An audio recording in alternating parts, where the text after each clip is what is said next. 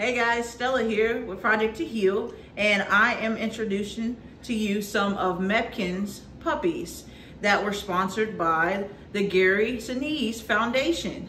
They were our sponsors for the golf tournament, so they are now sponsoring two of our puppies. This is Blue Collar, as you can see. Blue Collar's name is Mac. He was named after Gary Sinise's son. Say hello to this handsome boy.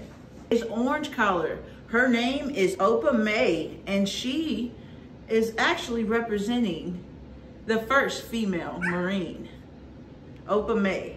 I want to say thank you to Gary Sinise Foundation and stay tuned for some of the future names of our future litters.